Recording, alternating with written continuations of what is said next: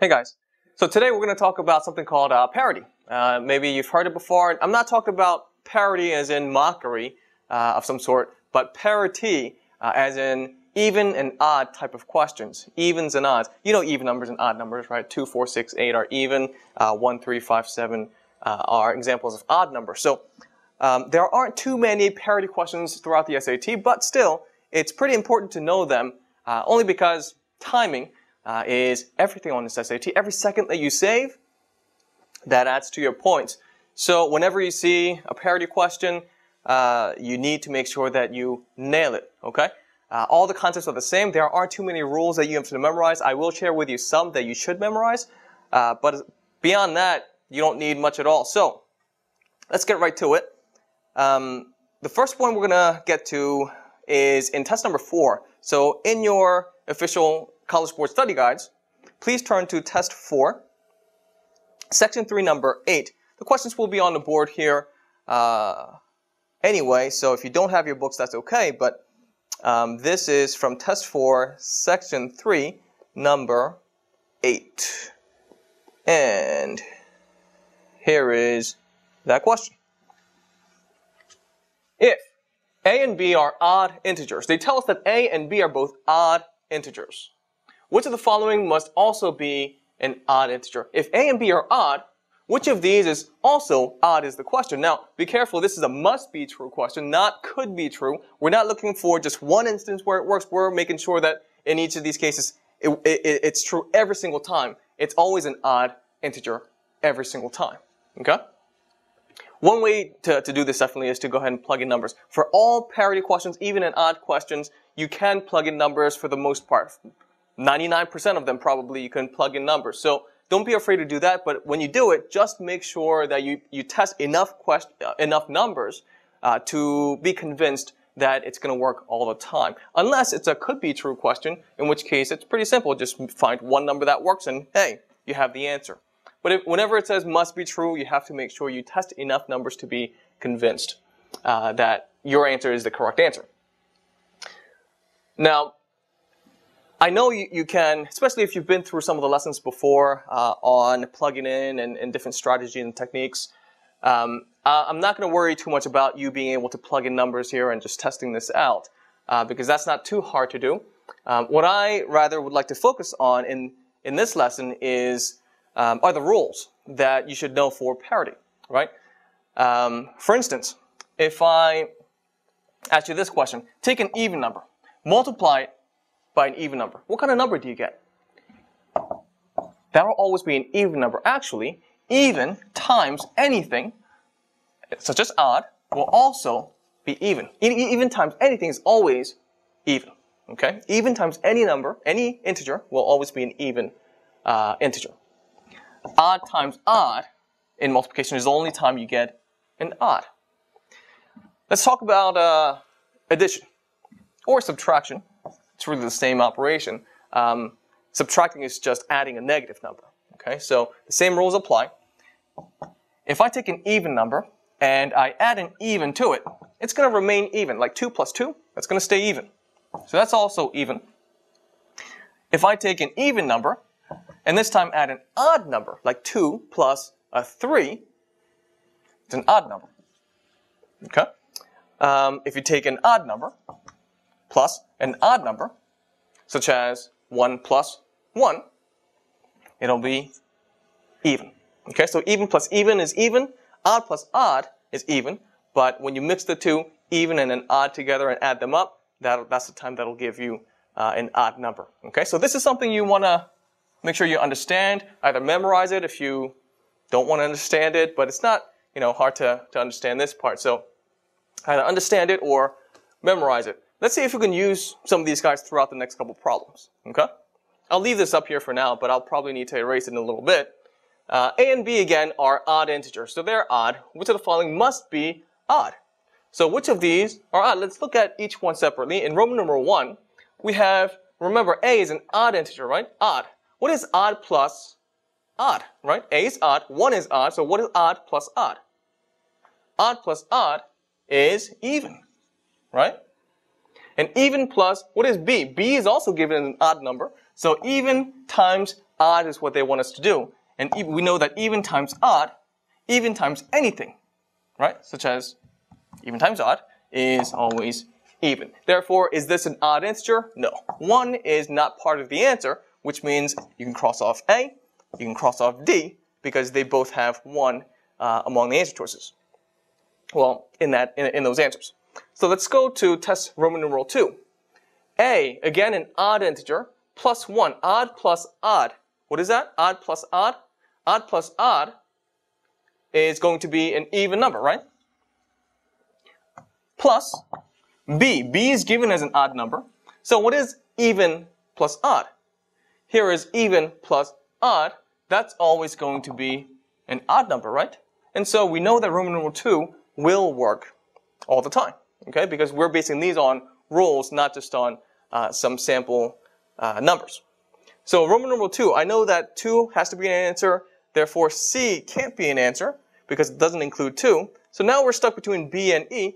It's not bad at all. If, you, if you're stuck here, you can just guess and um, it's going to work for you rather than against you on this test. But let's try Roman numeral 3. A, which is an odd integer, plus odd. Odd plus odd. Odd plus odd is even, minus B. What is B? B is an odd number, right? So this is even minus odd, right? That's just like even plus odd. Same, um, same idea. So uh, even plus or minus odd gives you an odd number, right? So room number 3 works as well. Therefore, our answer will be E for number 8. Let's go to, we're going to uh, move on to the next uh, test. Let's go to test 5, section 8, number 13.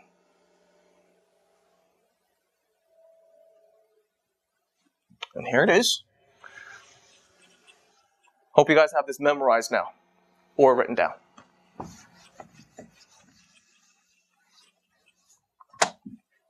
All right, let's check out number 13.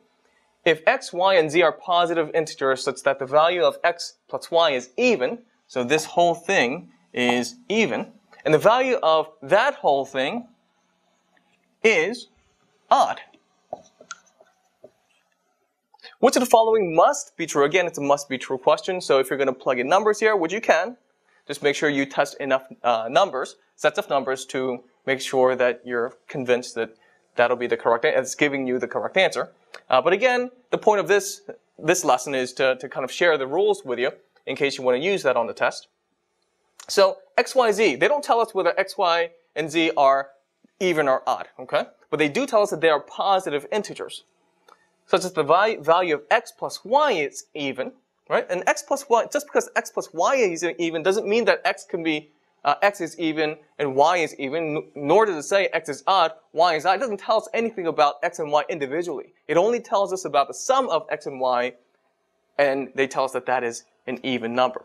Okay? So x and y can either be even or odd, right? If you look at uh, your rules again, um, you'll see some examples right there.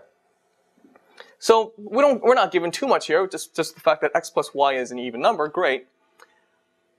But the great thing here is in the next crazy, uh, super complicated looking expression, we see exactly x plus y, which is given right here. We know that x plus y is what? They tell us that x plus y is even. What they're asking you to do is take this even number and square it.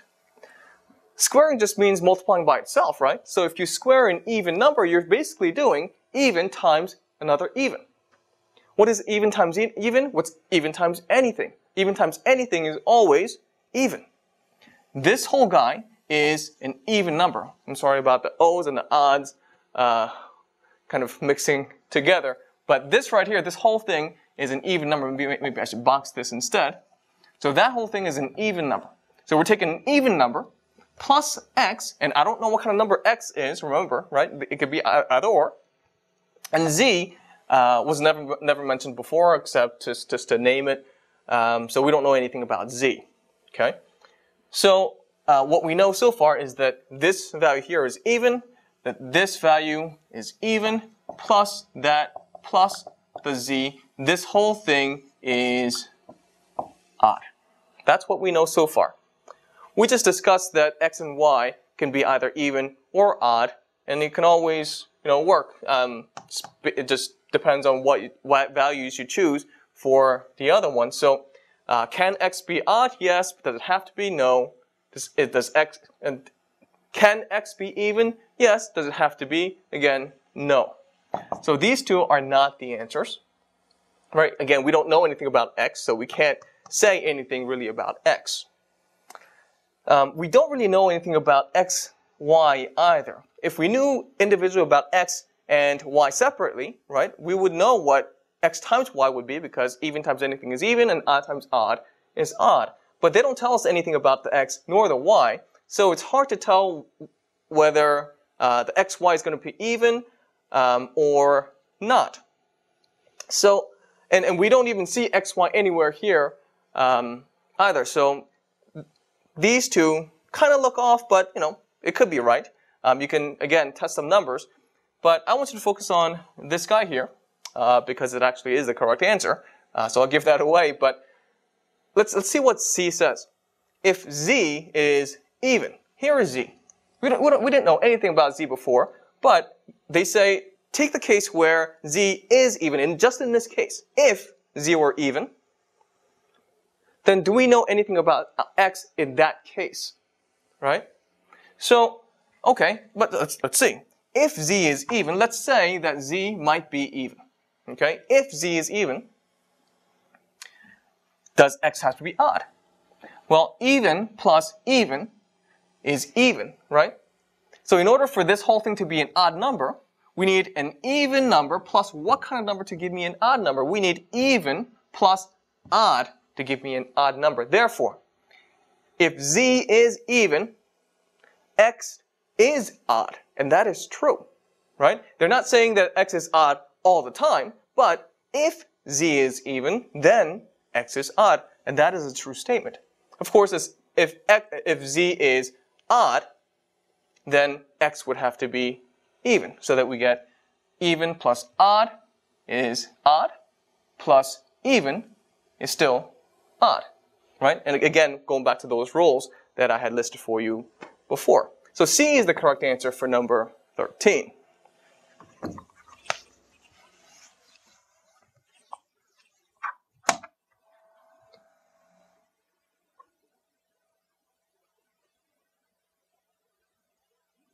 We're going to try a, a, couple more problems here. Um, and we're going to jump to we're going to take a break, uh, but when we come back, we'll cover a couple more questions. Try, until uh, uh I'm back, try test 8, section 7, number 3, test 9, number, uh, section 5, number 17, and also test 9, section 8, number 12. After you try those three problems, let's see if we can uh, match up some answers and, and do these problems together.